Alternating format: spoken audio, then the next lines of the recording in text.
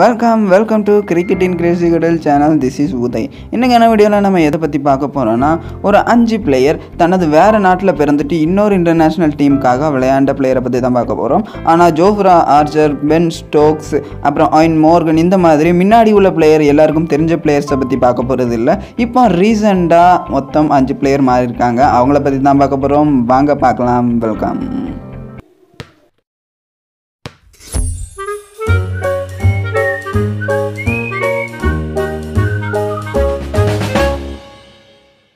ஓகேங்க ஃபஸ்ட்டு பார்த்தீங்கன்னா Morne Morkel South ஆப்பிரிக்காவுக்காக ஃபாஸ்ட் பவுலரான இவர் இரநூத்தி நாற்பத்தி ஏழு தமிழ் எழுத்துக்கள் மாதிரி இரநூத்தி நாற்பத்தி ஏழு மேட்சஸ் விளையாண்டுருக்கிறாரு. மூணு மேட்சஸையும் சேர்த்து ஐநூற்றி நாற்பத்தி நாலு விக்கெட்ஸ் எடுத்திருக்கிறாரு மோர்னி மோகல் அது மட்டும் இல்லாமல் எழுபது ஐபிஎல்லில் எழுபத்தி ஏழு wicket KKR Rajasthan Royals Delhi கேபிட்டல்ஸுக்கெல்லாம் விளையாண்டார். அது மட்டும் இல்லாமல் ரெண்டாயிரத்தி பன்னெண்டில் இருபத்தஞ்சு விக்கெட் எடுத்தார் ஐபிஎல்லில் பர்பிள் கேப்போட இவர் இப்போ எந்த டீமுக்கு விளையாட இருக்கிறாருன்னா ஆஸ்திரேலியா. அதாவது இப்போ பார்த்தீங்கன்னா பிபிஎல்லில் பிரிஸ்பென் ஹீட்டுக்காக இவர் வந்து லோக்கல் பிளேயராக அதாவது ஆஸ்திரேலியன் பிளேயராக இவரை சைன் பண்ணியிருக்கிறாங்க. அது மட்டும் இல்லாமல் இதுக்கு காரணம் என்ன? மோர்னி மோர்கள் சவுத் ஆப்பிரிக்காவில் இவ்வளோ நல்லா போட்டுட்ருக்கும் போது ஆஸ்திரேலியாவுக்கு போகிறதுக்கு காரணம் என்னென்னா மோர்னி மோர்களோட ஒய்ஃப் வந்து ஒரு ஆஸ்திரேலியன். அதனால் அவங்களுக்கு வந்து பெர்மனன்ட் ரெசிடென்ஸ் கொடுத்துட்டாங்க ஆஸ்திரேலியாவில் இனிமேல் அவர் ஆஸ்திரேலியாவுக்கு தான் விளையாட போகிறாரு எடுத்தாலும் பிபிஎல்ல கூட லோக்கல் பிளேயரை அவரை சைன் பண்ணியிருந்தாங்க ஓகே இரண்டாவது யாருன்னா இதுக்காக நம்ம ஒரு வீடியோ ஏற்கனவே போட்டுட்டோம். அதாவது இப்போ தான் அவர் ரீசெண்டாக போனார்.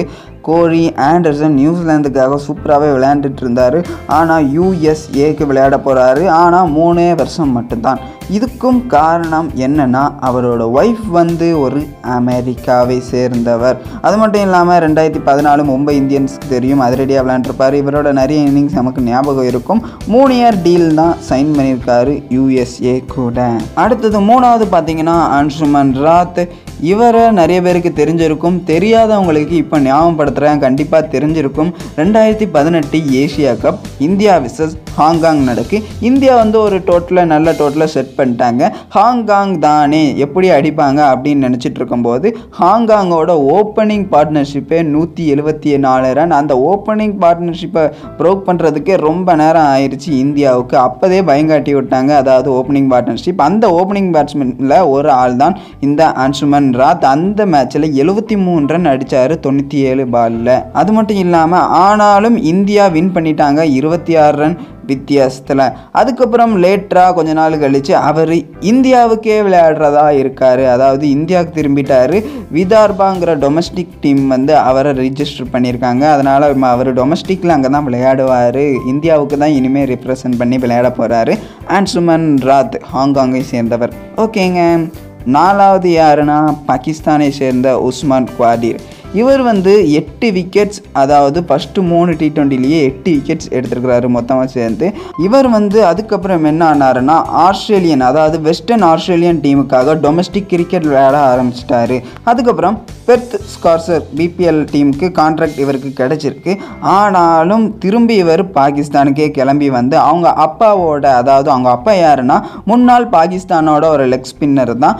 அவரோட கனவை நிறைவேற்றும்படி திரும்பி பாகிஸ்தானுக்கே வந்துட்டார். இவர் வந்து இனிமேல் நடக்க இருக்கிற நியூசிலாந்து சீரீஸ் விளையாட இருக்கிறாரு.